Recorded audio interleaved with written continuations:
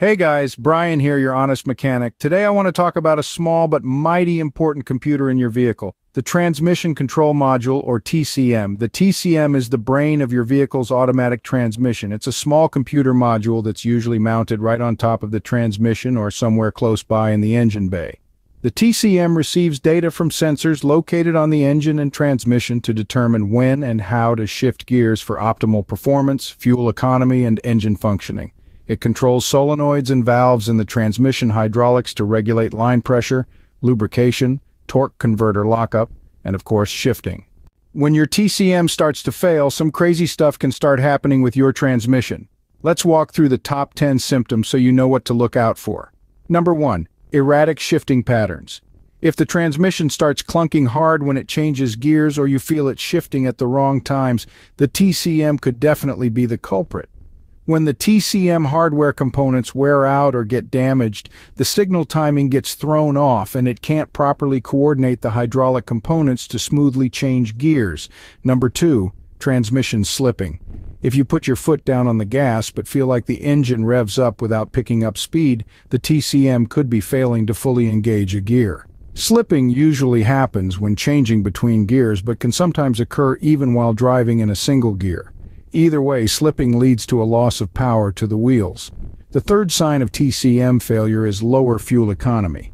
One of the TCM's responsibilities is figuring out which gear ratio to use in different driving scenarios to optimize fuel efficiency.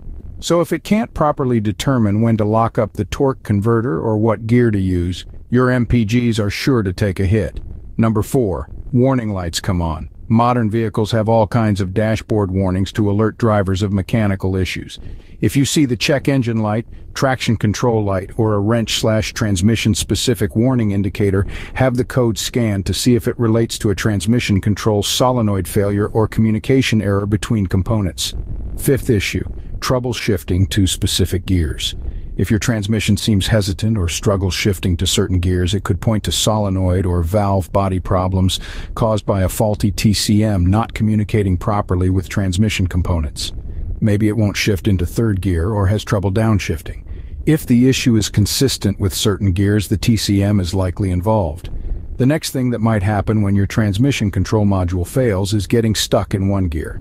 Let's say fourth or third gear seems to be the only option no matter how hard you push the accelerator or slow down. This limited gear range restricts your ability to increase vehicle speed or engine braking ability for slowing down.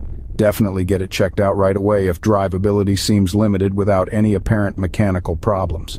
Number 7. Stalling, power loss, or no start issues can arise from transmission problems.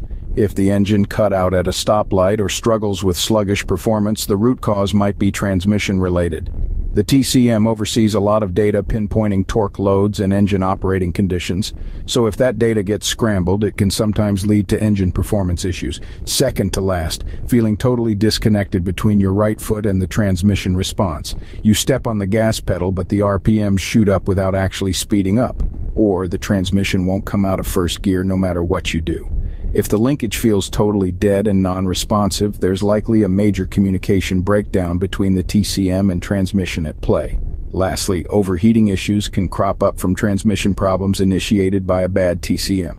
Excessive heat and friction buildup associated with slipping, torque converter lockup malfunctions, and incorrect line pressure can start to smoke or smell, leading to even more damage inside the transmission case if left unchecked.